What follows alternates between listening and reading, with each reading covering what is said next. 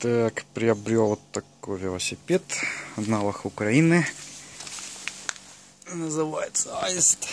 Сделано в Минске. Вот велосипед был в нерабочем состоянии. Были спущены колеса. Поменял колесо и обнаружился неприятный момент. А именно восьмерик. Сейчас его можно будет увидеть.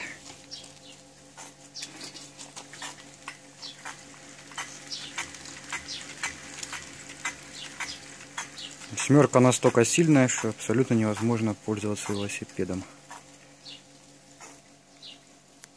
Трет обо все. Об раму, об крыло.